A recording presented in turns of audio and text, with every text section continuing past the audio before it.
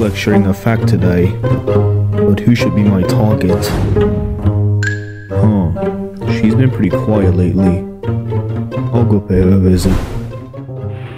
Ah, finally some peace.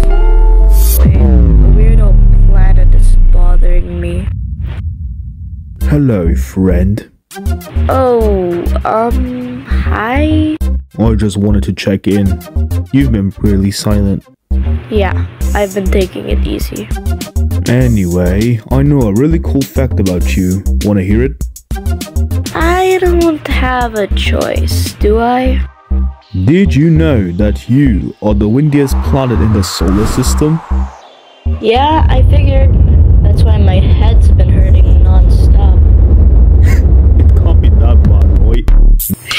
About 1,200 miles per hour is definitely not much. Wait, it isn't? I was being sarcastic, you idiot. It's legit faster than the speed of sound. Oh, I take things too literally sometimes, but why is it that fast? Well, I have an internal heat source driving the storms, and since I don't have a solid surface, the winds just keep blowing. My rotation speed and atmosphere composition also help. Wow, usually I'm the smart one, but today I'm the learner. Interesting.